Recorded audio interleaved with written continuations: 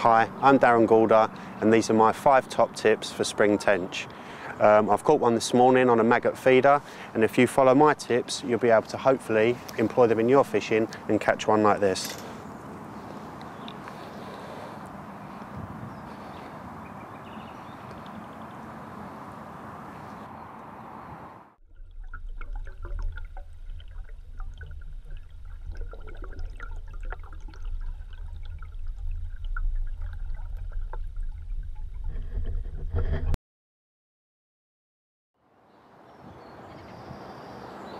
The most important part to any tench session is locating the fish first.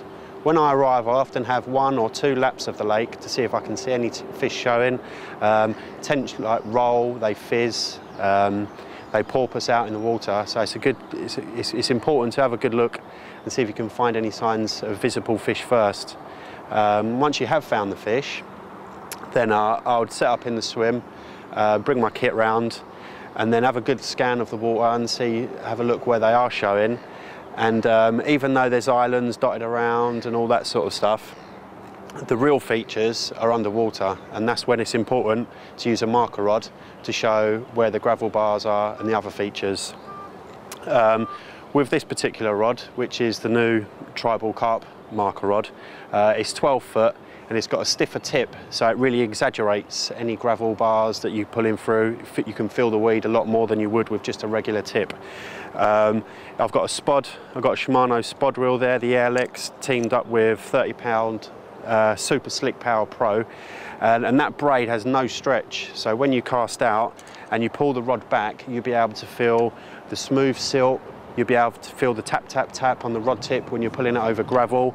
And when you do feel a spot, um, let, the, let the clutch off, let out, pay out the line, and then you can find the depth. So you'll be able to find out when you're at the back of the bar and say it's 10 foot of water, pull it up a little bit more and you'll get to the top of the bar, and then you pull it a bit further and then you come back down the bar. And it's in front of the bars and behind them where I like to target, just in that silt where it meets the gravel. You'll find on these lakes that when there's a prevailing wind, the food often gets washed on either side of it. So for instance here we've got a wind coming across the swim so I'm targeting the areas just down the back and at the front of the slopes where I'm thinking the food's going to collect. Um, uh, you've got all the islands but you've also got the gravel bars that are running interlinked. So it's, it's always worth to give it a real big chuck and just find out where they are first and then go from there. When you have found your spots, uh, clip the line up under the one of the line clips and then I like to walk these walk it out along the bank and then walk my rigs out and clip them up to the same distance and that now I know when I am fishing I'm in fishing as accurate as I possibly can on the hot spots.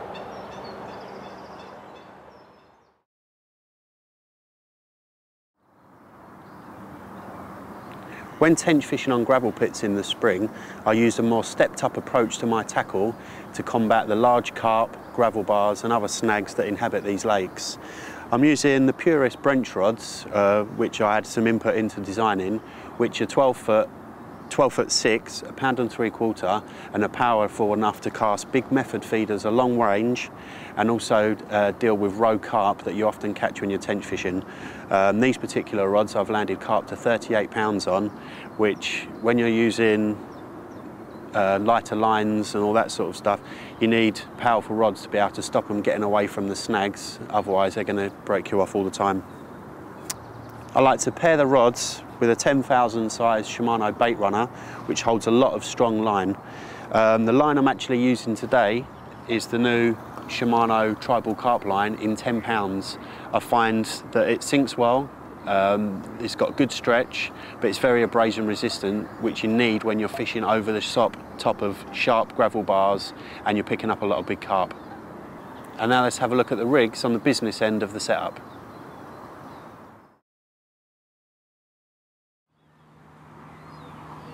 Once you've found your spot and located the features, it's then a key of feeding them.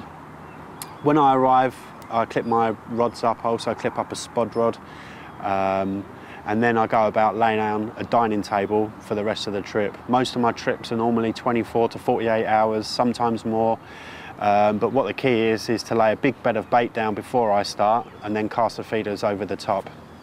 Uh, when I arrive, I'll usually put out a whole jar of the dynamite mixed particles. There's small bits in there, there's hemp, there's all sorts of oils and stuff, which is super attractive and the tench love it. So that's the main bulk of it really, a whole jar of one of them. And then we've got uh, a few krill pellets, uh, that's the ground bait. I've got a few krill pellets in there, just as bigger morsels. They break down over a sort of a slow period, giving off bits and, you know, all sorts of attractions through the water column. So I have a handful of them, not too many, I don't like to spoil them too much, and a little bit of ground bait just to stodge it up. If I'm using it in a spod, uh, I don't like it falling out the back, so I just put in a bit of that just to stiffen it up, stop it falling out on the cast. Or if I'm using a Spomb, then I won't put any ground bait in it at all. I'll just use the pellets and the particle. Uh, when you, you, pop your marker rod up and then I'll put out a big bucket, I'll mix it all up in a big bucket. You'll have your spot on the in the distance that you want to be cast into and then it's just a case of getting it out there as accurately as you possibly can. Uh, I use the tribal spod rod and the spod, the, the, the Aerlex spod reel and the key is to get it as close as you possibly can to the marker float, ideally in a sort of a four foot radius around the float, because then when you're fishing your, uh, your maggot feeders over the top, you want it in that vicinity. You don't want to be spreading bait all around the swim.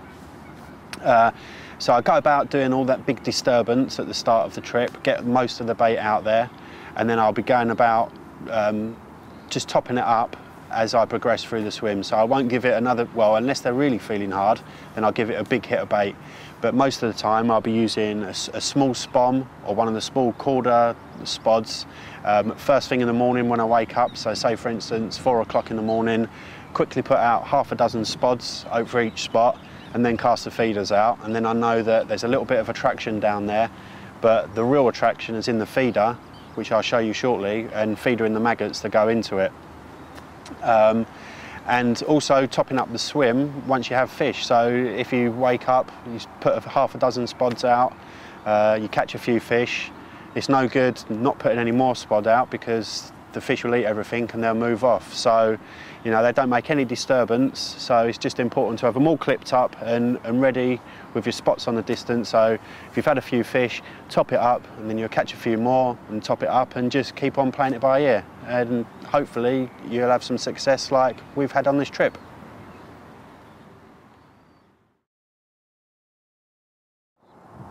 Tench absolutely love red maggots. Maggots play a massive approach when I'm tench fishing and 95% of it always involves the use of a swim feeder. Um, tench are inquisitive, so they're always homing in on the attraction of casting out regularly.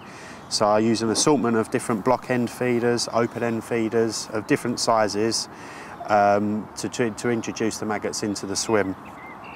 Um, I use scaled down carp rigs for tench. They're, they're, bolt rigs. I'm often using more than one rod at a time, so I can leave them out there for long periods of time on the bite alarms, ready for a bite. Um, I use um, an unleaded sort of lead core, one of the new leaders, which is safer fish, um, direct to the feeder and incorporate a small helicopter rig, which is tangle free and offers good uh, bite indication. Um, at the moment, uh, there's a little bit of silt out there, there's a little bit of silkweed. So what I'm actually doing is fishing my maggots popped up straight from the deck. Um, I'm using a very short hook link, which is probably about three and a half inches, and that sits um, just off the bottom over any weed, and the tench absolutely they love it. They come in on it, and I'm using a little sliver of red foam there, just hair rigged, and then I nick a couple of real real maggots onto the hook and then that just sits proud and all the maggots crawl out of the feeder you know, with a nice little ball of attraction um, for them to home in on. Uh, I actually feed, um, put some liquid flavouring into the feeder before I cast out just for some extra attraction. Um, as you can see on these feeders, some of them are taped up, other ones aren't, and that just controls the rate that the maggots crawl out. Um, sometimes I'm casting every 45 minutes, other times every hour. Sometimes I want to leave them out there a little bit longer, uh, for up to two hours or so. So taping them up slows that release and just makes makes it more attractive for longer because I find that an, empty feeder isn't really attractive, you might as well be using a lead. So to always have a constant stream of bait coming around to your hook bait is going to get um, going to get extra bites.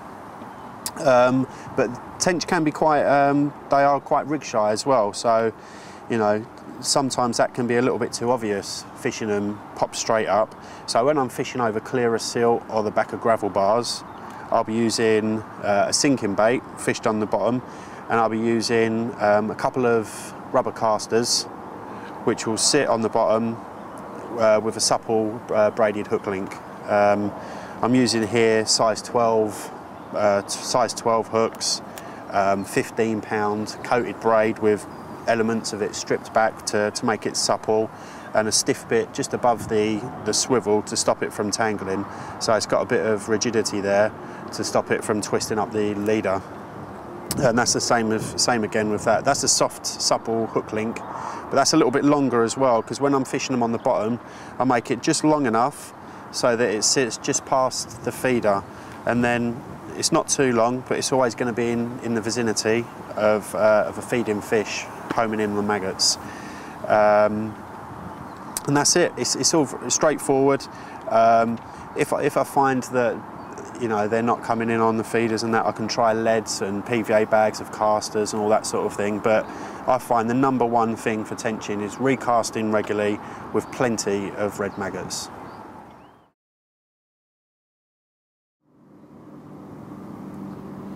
So hopefully now you've found the features in the swim, you've found the fish, you've baited up and you know what rigs to use.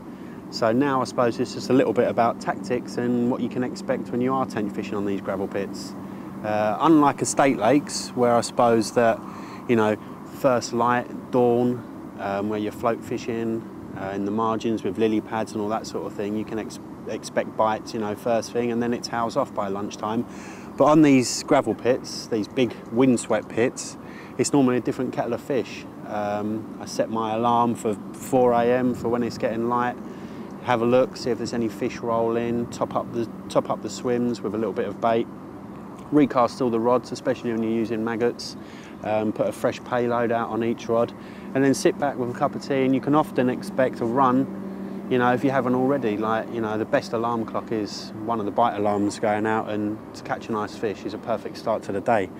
Uh, and then it can go quiet for a little bit. Um, you know, seven o'clock in the morning till till ten o'clock, sort of, you know, into mid morning can be good times. More later on in the in the spring, like we're in June now, but we're a little bit behind. So you know, the fish are feeding at all times of the day. Uh, lunchtime's a, a good productive time. You know, one two o'clock you can expect a couple of bites. So it's important to make sure that you top up them swims in between bites so that there's some food out there for the next time they're going to be hungry.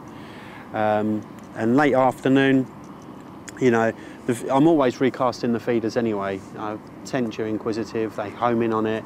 You can always pick up a bonus fish, but you also know through fishing these long 24, 48 hour sessions when, when they're feeding, when the feeding spells are, and to make sure you're organised and equipped for, for, them, for those you know, hot times.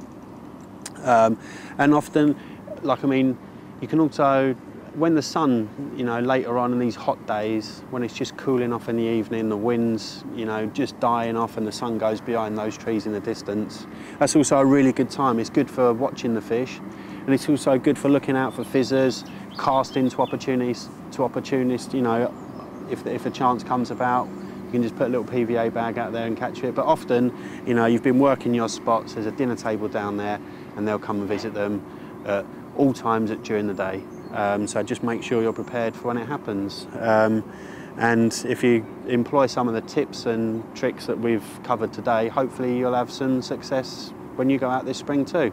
So be lucky.